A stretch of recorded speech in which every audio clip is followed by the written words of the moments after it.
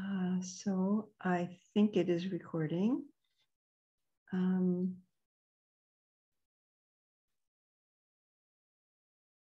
I'm just going to stop the share uh, for a moment to um, to see to check and see if it's recording. Yes, it is.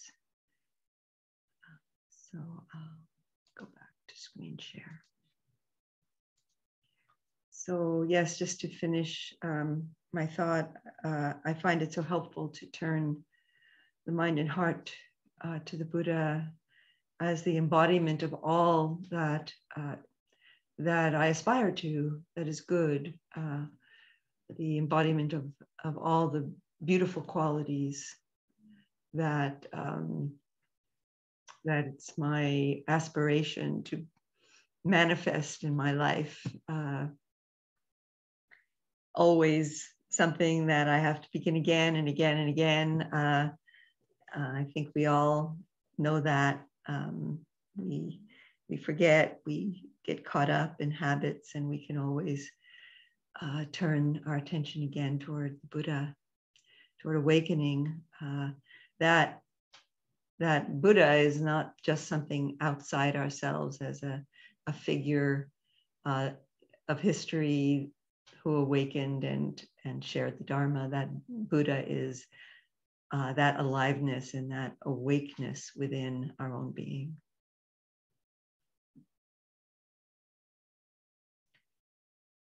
Namo tassa bhagavato arahato samma sambuddhassa.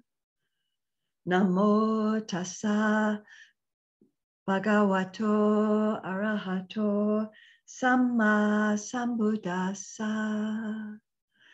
Namo tassa bhagavato arahato Samma Sambuddhasa.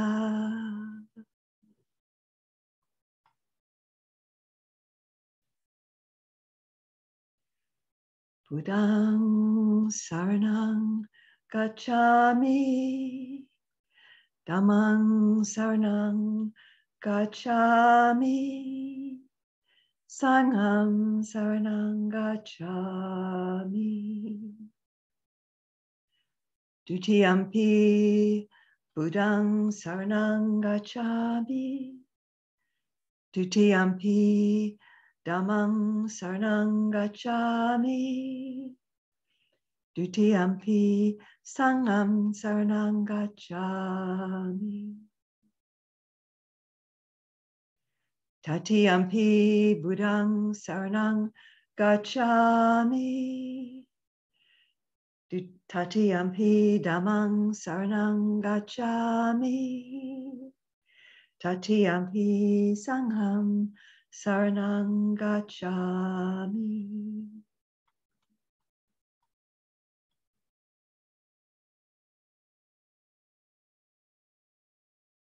And taking five precepts,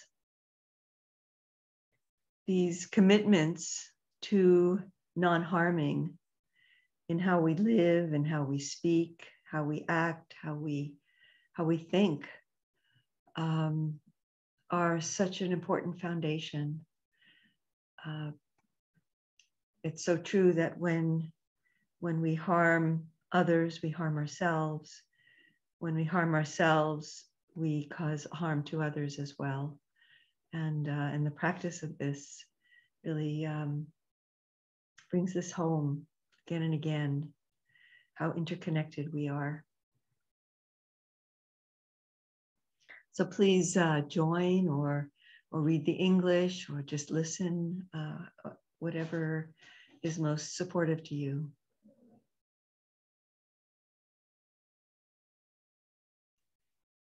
Panati pata veramani sikapadam samadhiyami.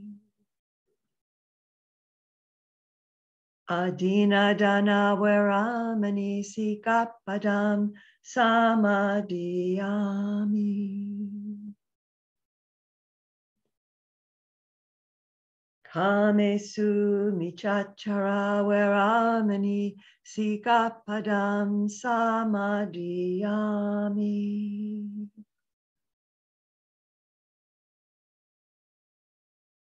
Musawada veramani sikapadam samadhiyami.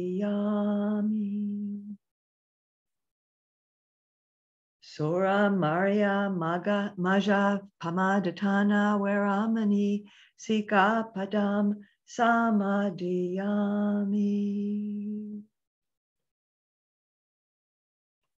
Idam misila maga phala nyanasa pachaya hotu. Sadhu, sadhu, sadhu. Anumodami.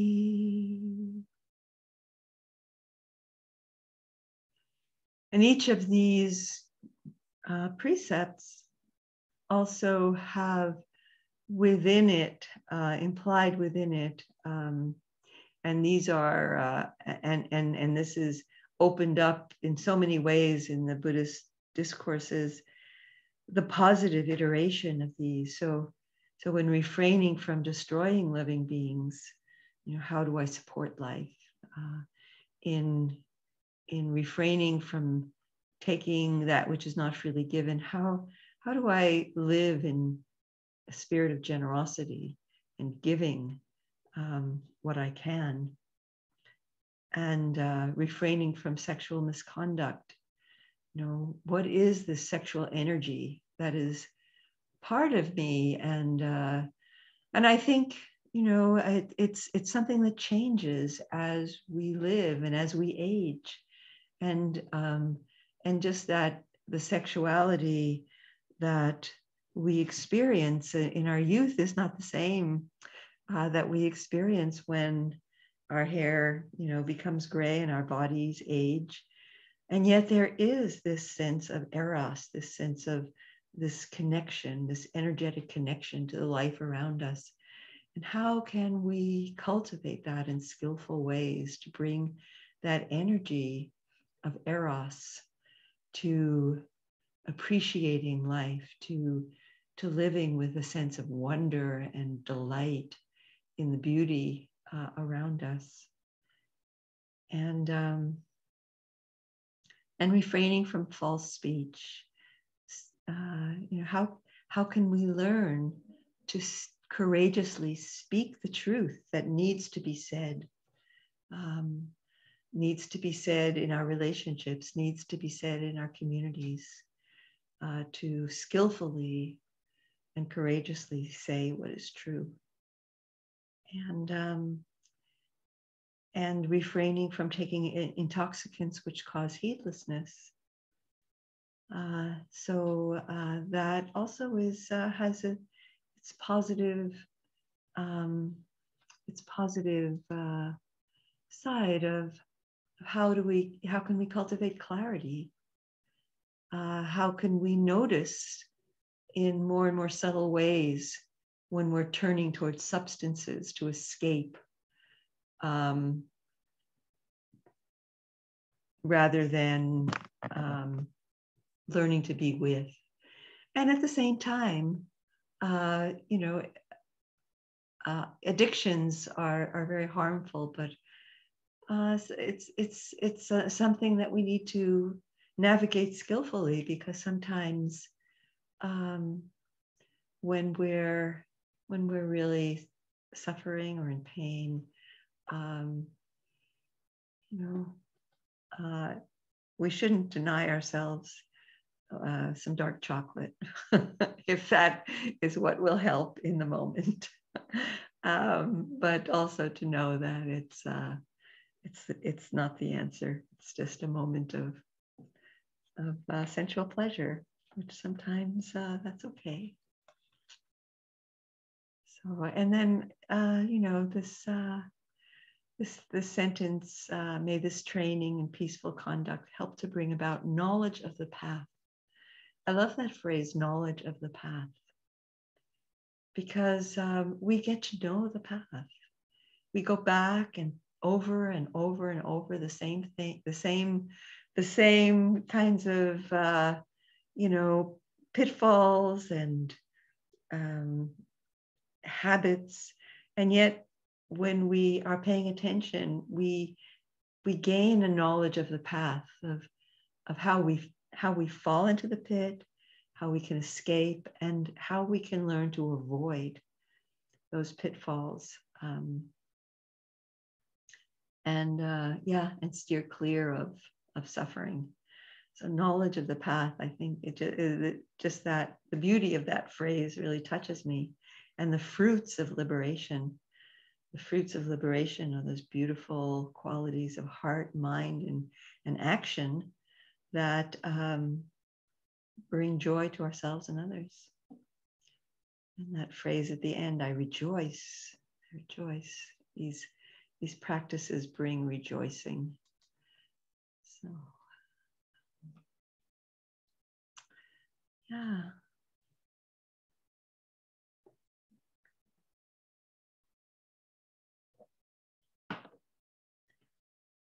I've been um,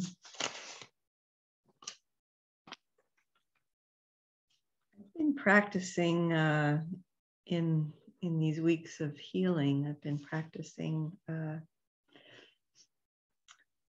love metta uh, as a um, it's and, and before also it's just become such a, a key practice for me um, love and and it's and it's uh, iteration or its expression of com- as compassion in the face of um, pain and suffering.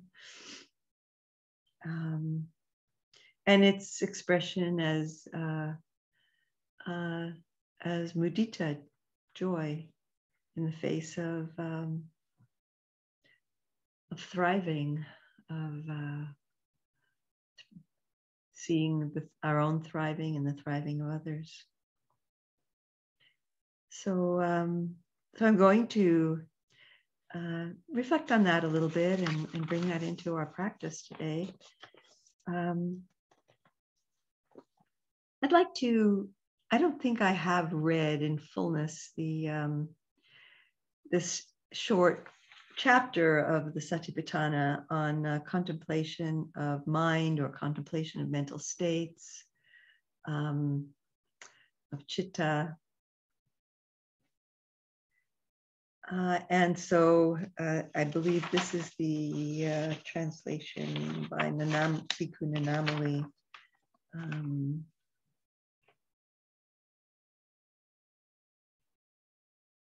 doesn't say. Uh, yeah, I believe it is. So he says uh, contemplation of mind. And how bhikkhus does a bhikkhu abide contemplating mind as mind? Here, a bhikkhu understands mind affected by lust as mind affected by lust, and mind unaffected by lust as mind unaffected by lust. He understands mind affected by hate as mind affected by hate, and mind unaffected by hate as mind unaffected by hate.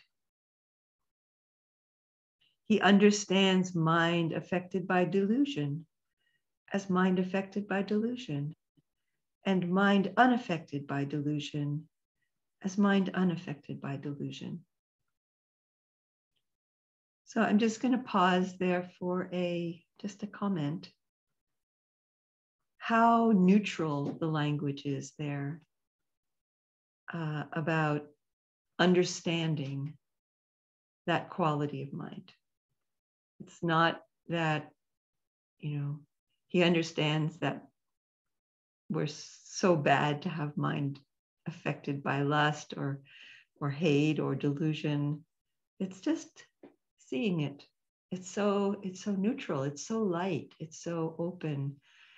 And on the other hand, we also see, we notice. And, and this is a big thing that that really needs to be cultivated.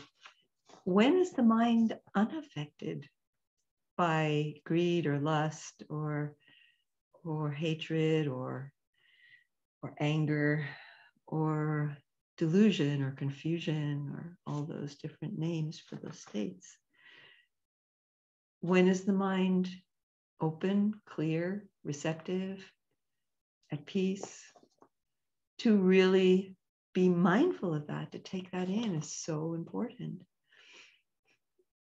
Equally important as noticing when the mind is affected by these states and is so that we can understand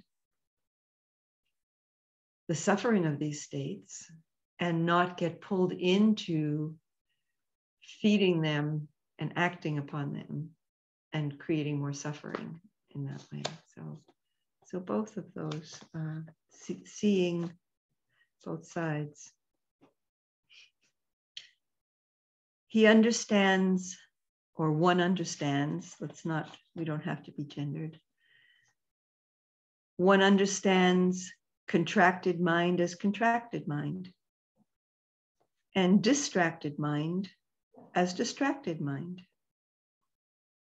One understands exalted mind as exalted mind, and unexalted mind as unexalted mind. One understands surpassed mind as surpassed minds, mind and unsurpassed mind as unsurpassed mind. One understands concentrated mind as concentrated mind and unconcentrated mind as unconcentrated mind. One understands liberated mind as liberated mind and unliberated mind as unliberated mind. So there are different teachings on what those various words means. Words mean. Um, perhaps uh, some of them land with you uh, in terms of connecting with the experience, like when the mind gets very contracted. Um, that you know it's kind of fixed on a particular thing, fixated, uh, and you know there's a saying we become as small as the fixation of our mind. You know we can we can just shrink down to this uh, obsession that we may have. Um, and uh, and to see that in the moment how when the mind becomes contracted uh, whether that's with fear with with anger with uh, grasping something. I need this. I must have that. Jealousy. These list of mind states are not exhaustive. They're examples of different mind states, but they're uh, they're not exhaustive. Many teachers have said that. So um, so just knowing what the mind is doing, what when it's doing, when it's doing it, and just um, you know, as, as Krishnamurti says, just the seeing is the doing. The seeing is the doing. The seeing is just that moment of just slight letting go when we can see it with mindfulness, which is free of grasping uh, or pushing away. Just, just uh, having that having that courage and openness and curiosity to uh, to be present with even even if it's painful because when we sometimes when we turn our minds towards a state of suffering uh, we feel it in the body and um, and that's actually such a support to that the body can uh, hold the suffering of the mind. Because when we hold it in the mind as a story, as a concept, as a something about me or mine, uh, then we will continue feeding it and continue on a narration in past and future but when we let go and simply turn our attention toward it and let it abide in the body. The body is such a beautiful ally and support that it will hold that uh, that suffering. Uh, we feel it in the heart, maybe in the throat, in the in the jaw, in the belly, wherever it in the in the arms, wherever wherever it may reside, and and then we can also be present as it as it moves. It begins. We begin to be able to see how uh, it shifts and moves and moves through. And this is what the Buddha goes on to say. Um, in this way, one abides contemplating mind as mind internally. So, internally, like um, knowing it within. Or one abides contemplating mind as mind externally. You know, sometimes we can see uh, maybe someone we're close to, or or uh, someone even that we see outside in the world around us who is in a men- particular mental state. Uh, or one abides contemplating mind as mind both internally and externally.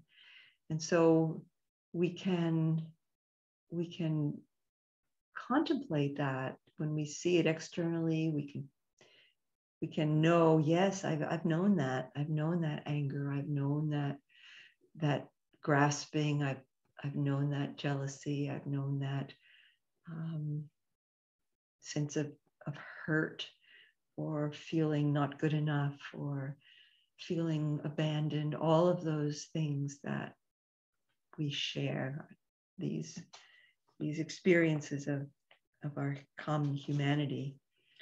And, and we can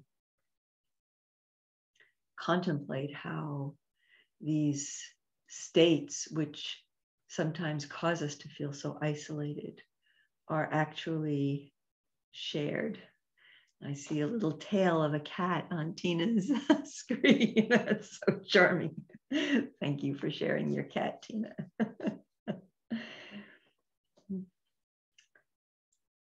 or else one abides contemplating in mind its nature of arising, or one abides contemplating in mind its nature of vanishing, or one abides contemplating in mind its nature of both arising and vanishing. And so this is such an important part uh, of, of the seeing. Uh, this is like the key primary message of the Satipatthana Sutta to see that things arise and pass away.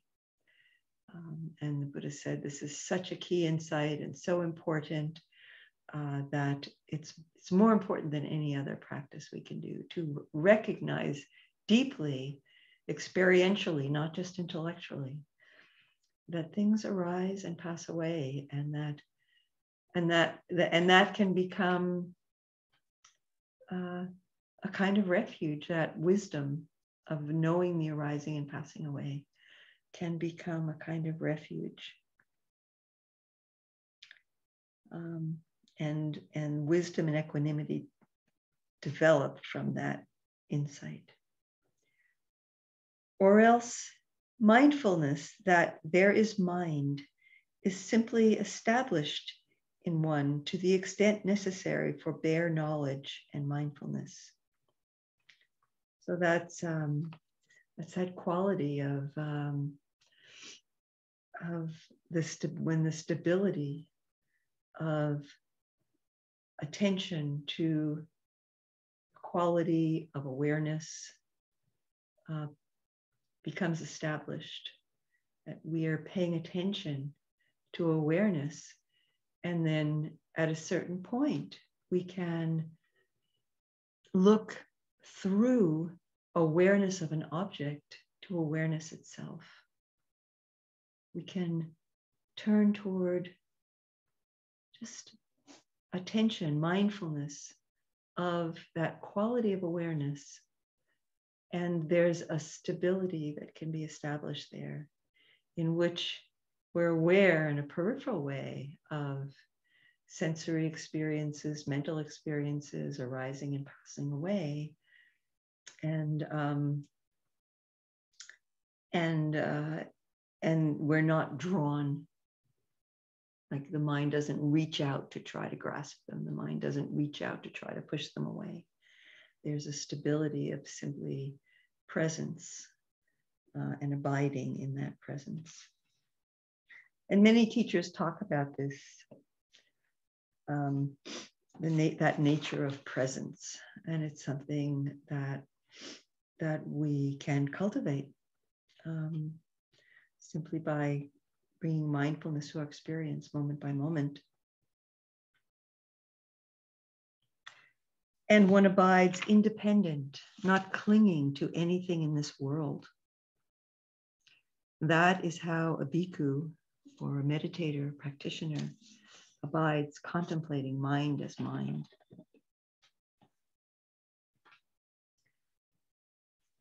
So, um,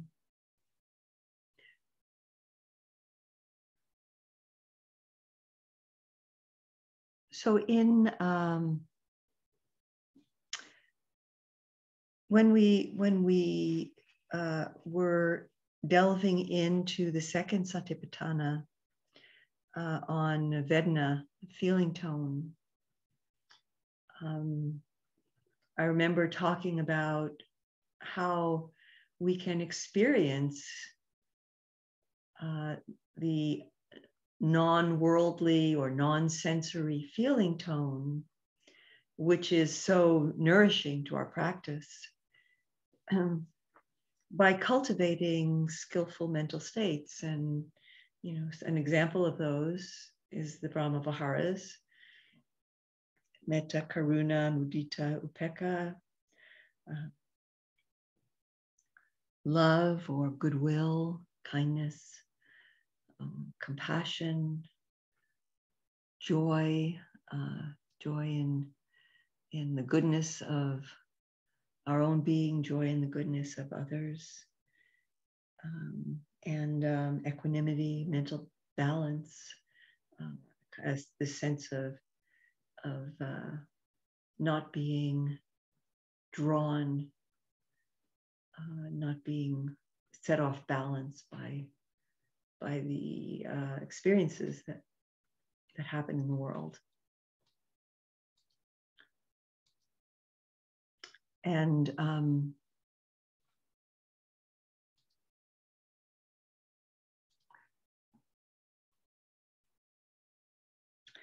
and so um, I, I want to also return to these qualities of heart mind and and there are many there are many beautiful qualities um, the parami the 10 parami uh, that uh, you know if you've been coming to the sunday sangha you've uh, you've shared uh, some reflections on those um, uh, and uh, and and the brahma viharas and and there are many beautiful states of mind. So, so when we when we're aware, so in the Satipatthana, the Buddha is really saying, be mindful, be aware of, um, of the qualities that are arising, of the of the states of mind that are arising and and manifesting and passing away uh, don't get caught up in them, uh, observe them, um, witness them with, uh, with a certain degree of neutrality, of equanimity. There is equanimity is, is present in its seat form in every moment of mindfulness. Um, and and what I what I want to reflect on a little bit and practice with you today is is how by by calling forth by by cultivating you know we don't just need to wait passively for mental states to assert themselves we can choose to cultivate beautiful states of mind that bring joy, that bring uh, well-being to ourselves and to others. Um, and and so metta is is uh, such an important one, uh, and uh, so basic and and uh, and not something that we ever will uh, kind of go beyond in our uh, practice. It's it's always always important and nourishing. And I've been discouraged discovering in my own personal practice of of metta uh, that that it is um, not only something that is nourishing in the moment, but it also is healing for me. Uh, that that those those habits that so many of us have of self-judgment, of of feeling not good enough, of feeling um, like somehow we're we're we're unworthy or or lacking or you know, feeling shame for ourselves you know and and it seems to be something that's so deeply embedded in our culture and uh, maybe in in some of the religions that have whether we were brought up in them or not um, they seem to have permeated our culture. And um, and they're very destructive. Uh, and and this practice of metta just um, you know like it's not a question of whether we deserve metta or not there's uh, you know i uh, when i first was exposed to the practice of metta uh, my mind rejected it uh, and i said oh no no that's not for me uh, what i want is wisdom i want the wisdom you know maybe when i become more wise and less confused then then maybe I'll deserve metta. I, I didn't say it that way exactly, but I recognize in retrospect that was the attitude. And so, so it's not a matter of deserving uh, metta. Uh, it's none of us are deserving or undeserving um, of of metta. It's just something that is part of the nourishment of life in the same way that we breathe the air and drink the water and, and eat the food that earth provides, um, we are nourished, uh, our hearts are nourished by, by love. And um, I like to use the word love because it's, uh, it's my amour. Uh, if that resonates for you, use that word. Um, it is a uh, it's something that we all need. Uh, it's we need it from the moment that we emerge from the womb into the wide world. We need that amour. We need that love, and um, and so uh, and so we discover as we embark upon a spiritual path that we can give it to ourselves, that we can offer it.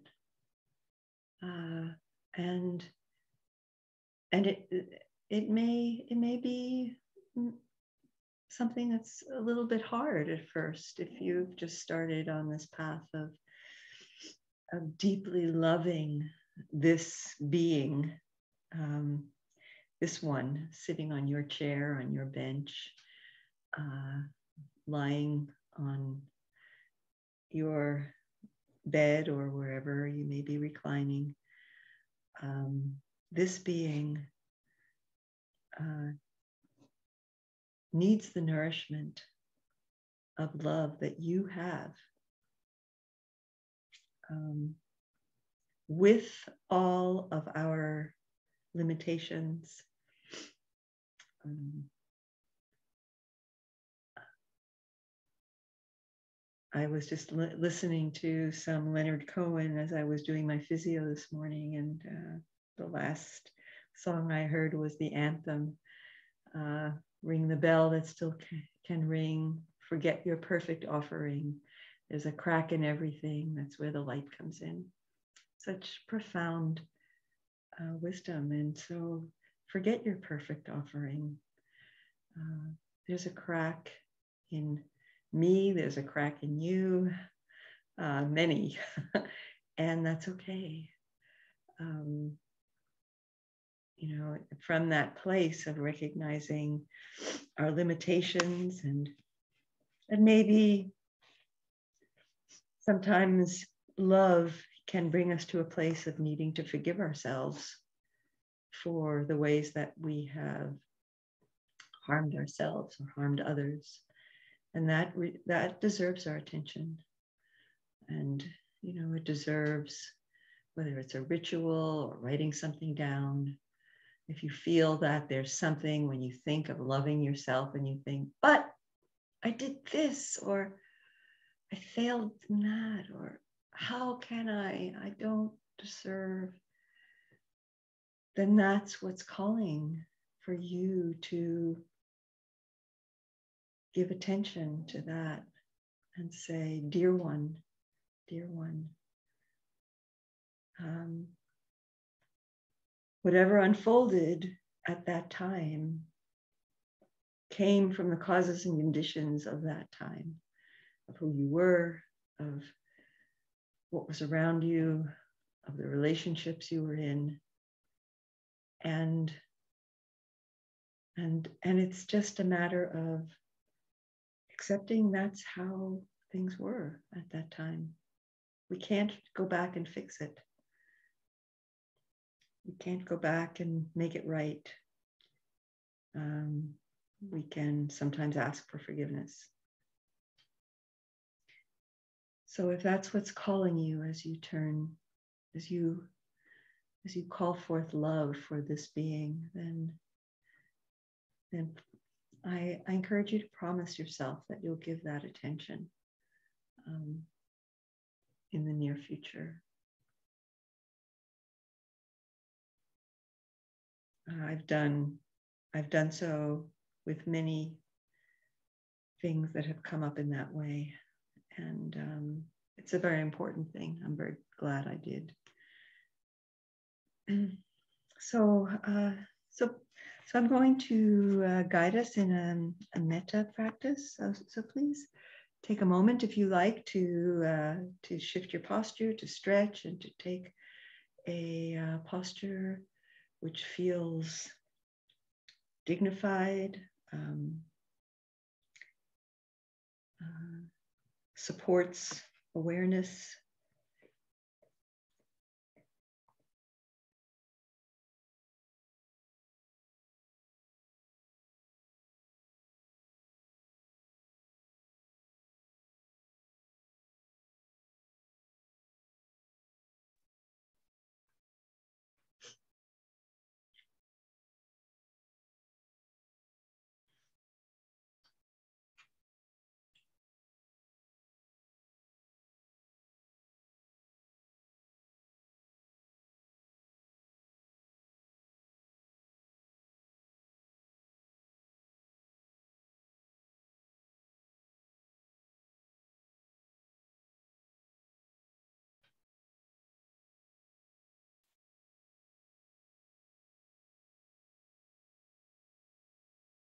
So as you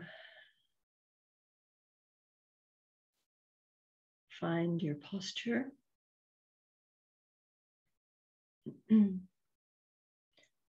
bring awareness to the body. Bring a, a kind and gentle, a loving awareness to the body, a compassionate awareness if the body feels pain, or if there's sluggishness, or the mind feels scattered, just be patient and kind.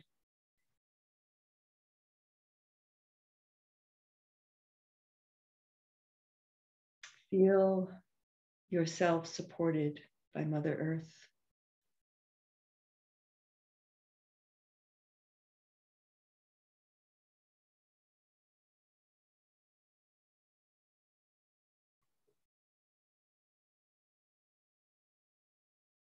Feel, feel yourself supported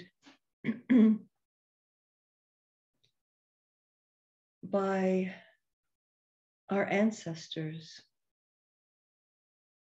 the ancestors who lived on this land for millennia before our arrival, our spiritual ancestors, our genetic or blood ancestors.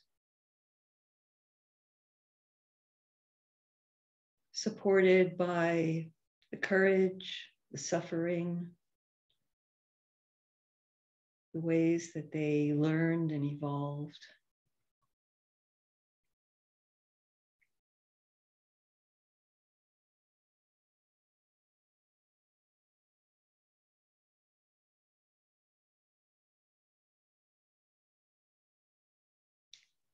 Bringing gratitude for this moment. Here we are in this place, in this time, together, practicing.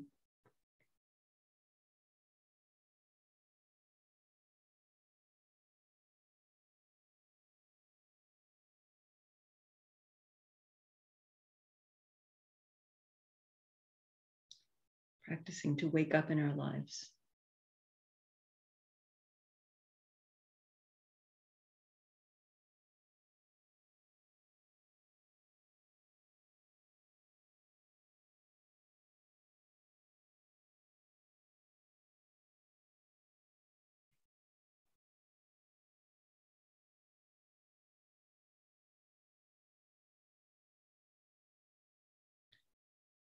And as you bring awareness to the body and feel the body in whatever position it is,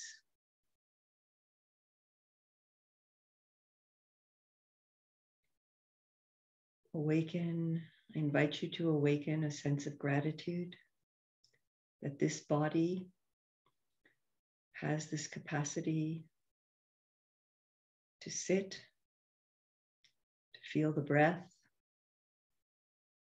to open to sensation, to bring mindfulness to the different mind states.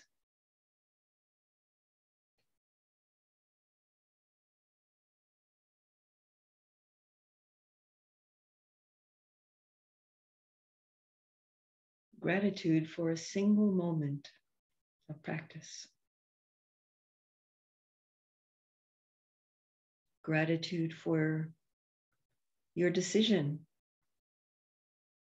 to come and practice in community this morning.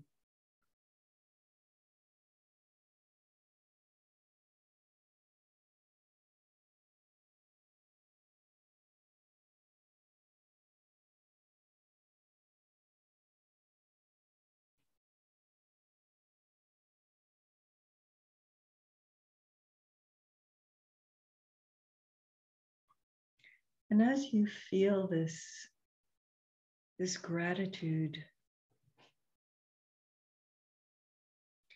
this appreciation, which is a very close kin to metta. Notice where you feel it in the body. Notice the quality of this, uh, this beautiful mental state. Gratitude is so uh, accessible.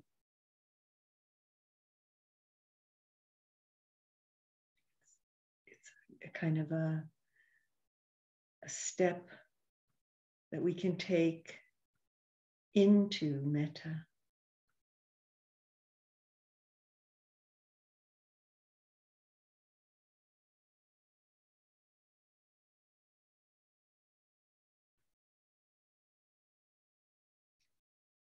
And just notice as you bring this quality, seek to awaken or call forth this quality of metta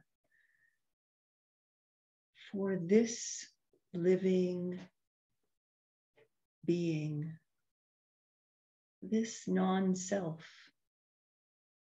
that is alive.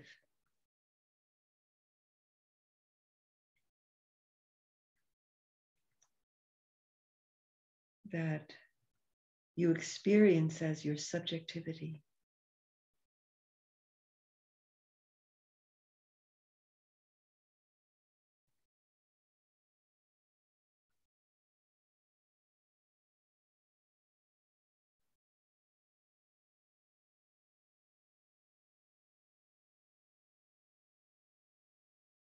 If you if you find it's a stretch that there's this quality of metta doesn't energetically appear.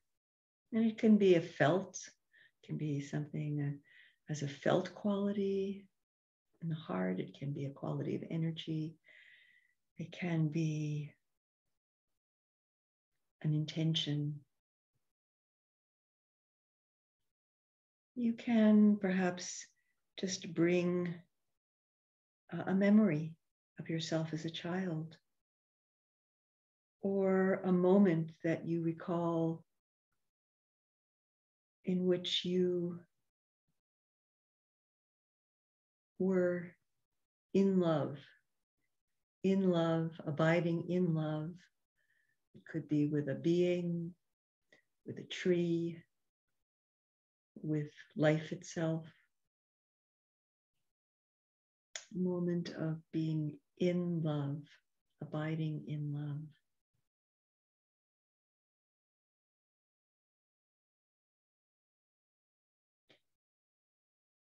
And something that I've shared with uh, you is a teaching from a beautiful Sri Lankan teacher, Bhante Wimala, um, who is the teacher of my dear friend David Chuela.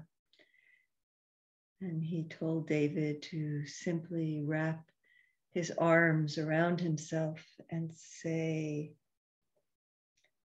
I love myself. I love my whole being. Love myself. I love my whole being. And just feel that hug feel that intention, feel that aspiration to, to deeply love, accept, cherish this being that you are. Not as any kind of personality or any kind of fixed self. No, that's not what we're talking about. But as this shimmering life this stream of being that each one of us is not truly separate from one another. And yet there is an element of subjectivity in which we experience the world and life through this body mind continuum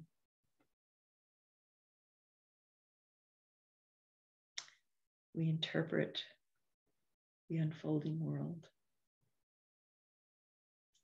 And our ways of interpreting and responding and reacting have been shaped by the world.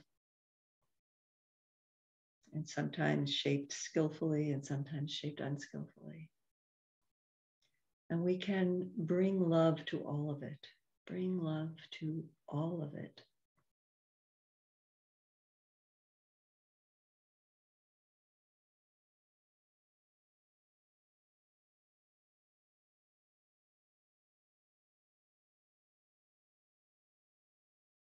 We don't have to divide ourselves. We love it all.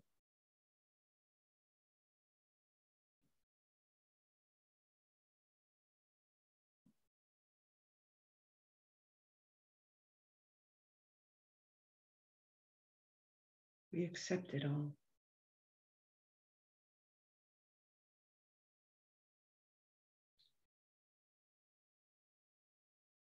With wisdom, we understand some of those habits bring us suffering, some of us bring us happiness, but that's not where we are right now. We're not in discernment, we're in acceptance, openness, love.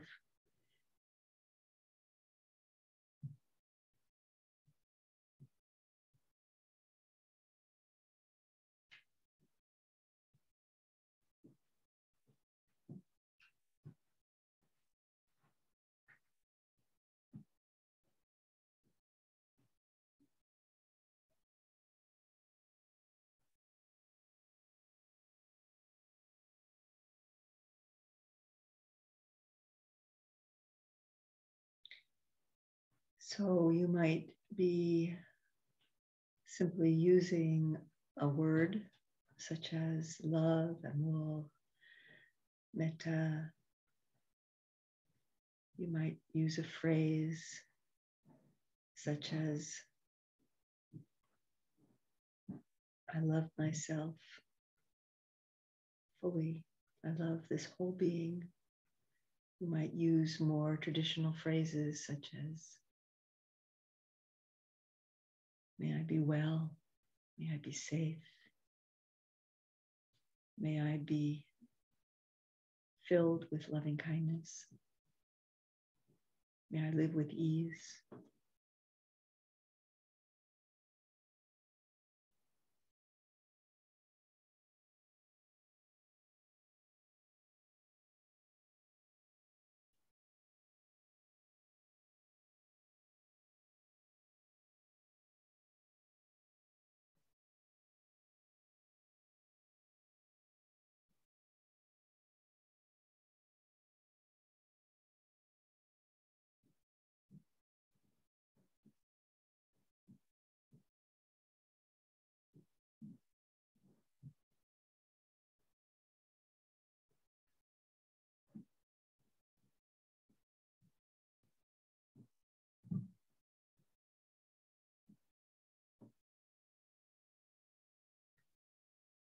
Your heart opens up to a quality of joy, allow that, let that expand, open up.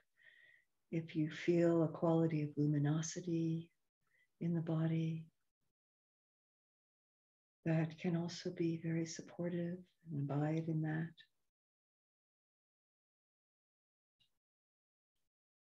If that luminosity, if that love or joy or compassion moves beyond the body, opens up into the space beyond the body. That also can be uh, just allowed, received, supported. And just at any moment, if the mind wanders, just come back, whether it's a quality of radiance in the body or, or a word or a, a quality of heart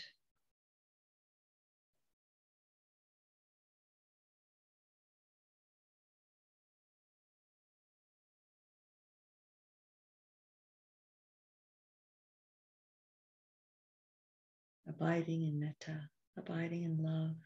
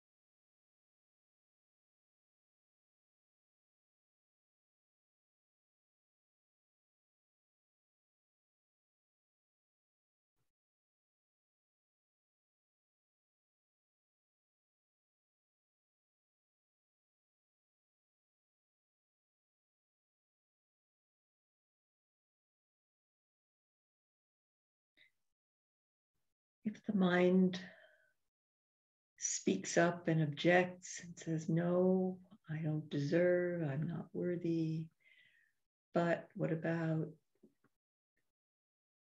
Just love that too. Just bring love to that objecting mind, that mind that says no. Love that too.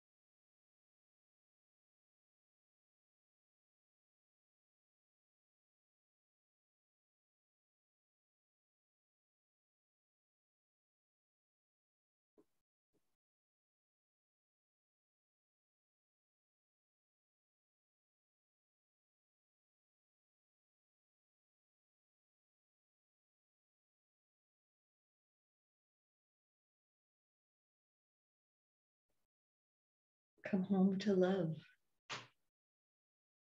Come home to abiding in love, being in love.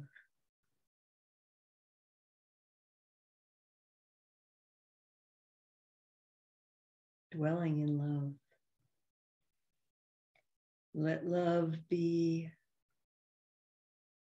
a means to let go, let go of all the self judgment, let go of all the self talk. Accept the invitation to love.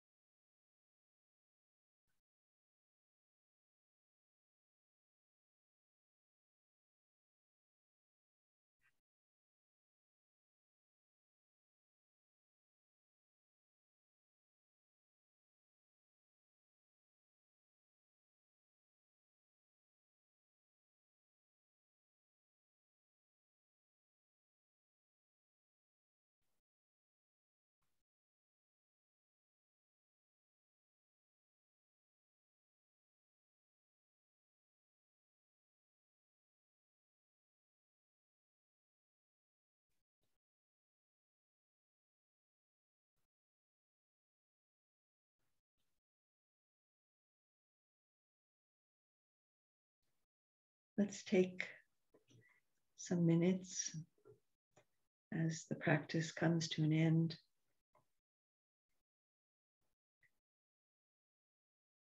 To intentionally allow that field of metta, love, amour, kindness, benevolence, friendship, to allow that to extend beyond the body into the field of space and time in all directions.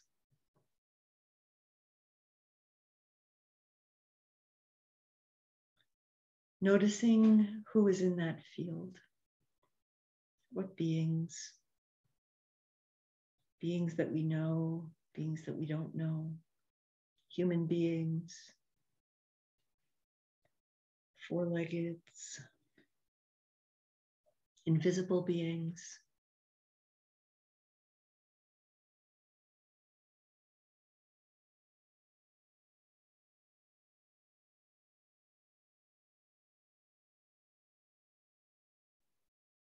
And extend this heart that wishes all well to all of those life forms.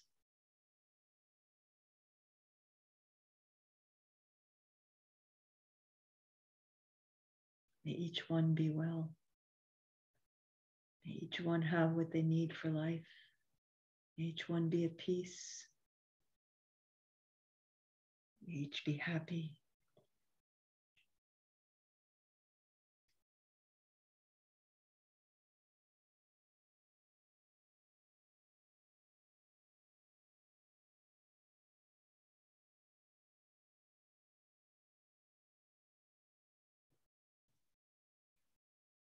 In dedicating our practice that this, this practice we've done together, as well as all of the myriad ways that we bring practice into our daily lives. Mindful moments throughout the day, our sitting practice, our walking practice, our caring and service that we extend to others, all of the many ways that we share the Dharma, share the beauty of the Dharma in our lives. May it serve and support the happiness, well being, and liberation of all beings.